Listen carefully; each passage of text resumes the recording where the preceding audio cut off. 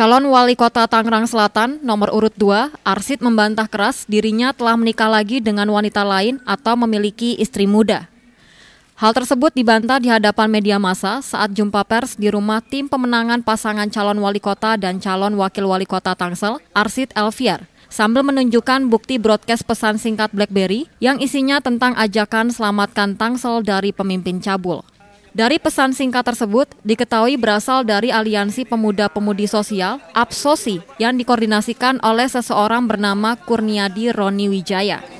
Pernah pernah di pegang lagi Pak. 2010 ini udah udah di suka cuma kita tidak pernah tanggapi gitu. Nikah siri juga belum. Tidak pernah saya tidak pernah. Tapi Yang Bapak kedua kali ya Pak Arsid ya? yang Dua kali dia dia membuat prokes seperti ini. Ya. Yang kedua kali berarti. Iya, iya itu itu ya. Jadi saya kira itu sementara yang jelas saya tidak pernah apa yang dituduhkan itu tidak pernah. Sementara kuasa hukum tim pemenangan paslon nomor urut 2 akan memperkarakan permasalahan ini dengan mengenakan pasal 156 KUHP, pasal 157 KUHP, dan pasal 310 KUHP, serta pasal 28 Undang-Undang IT dan pasal 45 ayat 2 Undang-Undang IT tahun 2008 untuk segera dilaporkan kepada pihak yang berwajib. Agung Andika melaporkan untuk CTV Network.